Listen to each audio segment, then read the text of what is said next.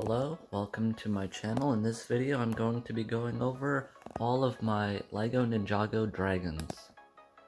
Ninjago has had multiple dragons over the years from 2011 to 2023. Here are all my Ninjago dragons that I own. Alright, this is the uh, first dragon. It is Char, came out in 2011. It has a molded head uh, some chains and banner and some nice feet. The wings fold up and they fold out. And overall, it's it's not a terrible dragon, but it's it could be better. Obviously, I don't expect much considering this is outdated compared to the newer ones. And overall, it's it's a good dragon, but could be better. This is Rocky. Also came out in 2011 or 2011. It's missing one of those green spikes, but whatever. It's an old set. Same with the uh, pre-molded head. Uh, has like a ball launcher thing in the mouth. Two banners. It has Cole DX. A nice tail, which has this play feature where you can wiggle the tail.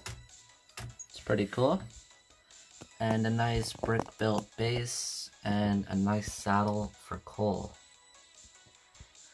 Overall, I'd say it's one of my favorite uh, 2011 dragons, and it has a good role in the show.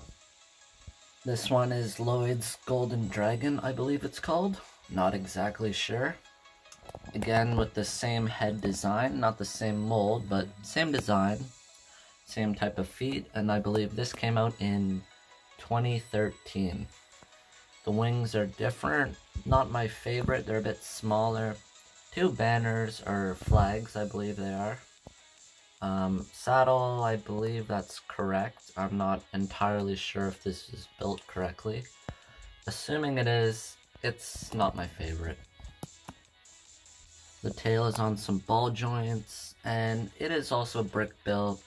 It's pretty good. I like the usage of gold parts, but it could be better. This is, um, I'm not sure, honestly.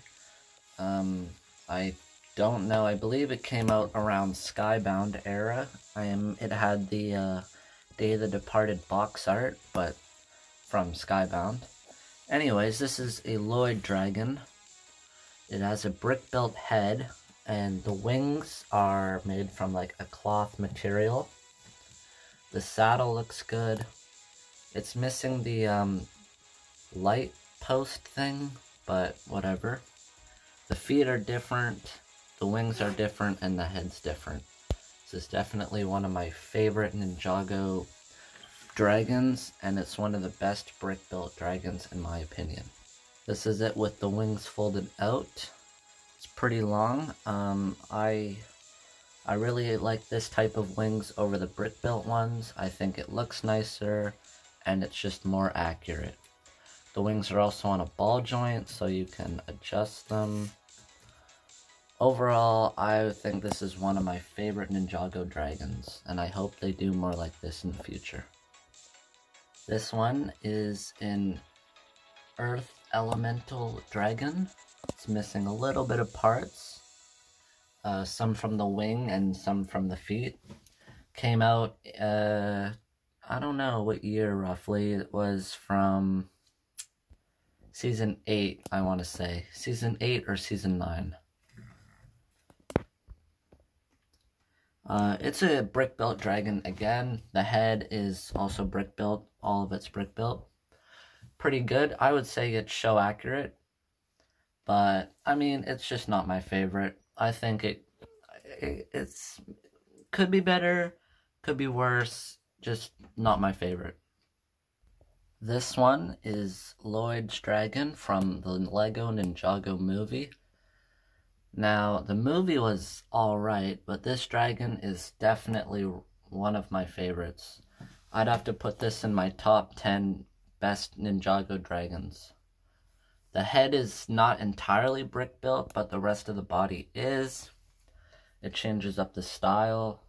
No wings.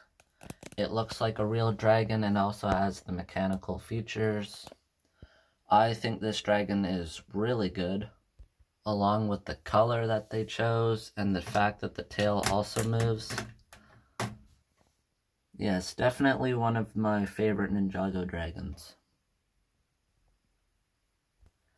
And my last dragon, which I debated putting in the list, but it is a dragon. This one came in a poly bag for Ninjago Core, I believe. It's a um, micro scale version of a set, from what I've been told.